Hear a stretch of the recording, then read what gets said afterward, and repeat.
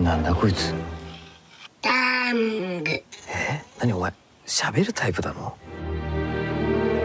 彼の名前はタング。記憶をなくして迷子で一りぼっちのロボット。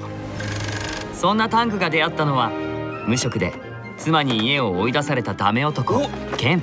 もう帰ってこないで。なんだよ。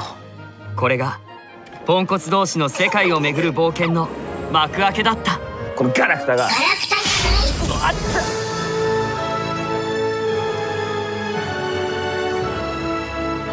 タングには特別な何かが備わっている。誰かがタングを連れ去ろうとしてる。い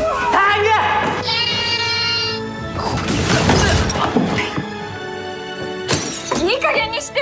いつまで逃げるのよ。前に進んでよ。タングのためにタング